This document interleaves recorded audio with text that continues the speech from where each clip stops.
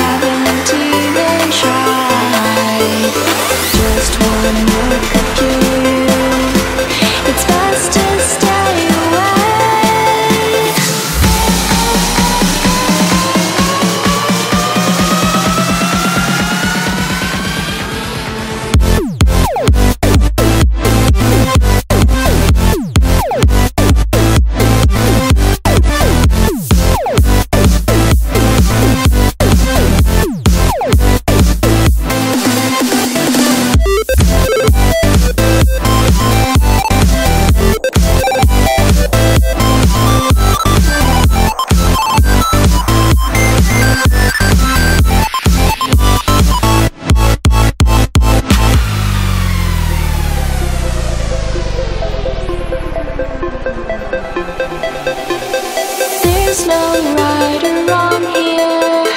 It's us not do.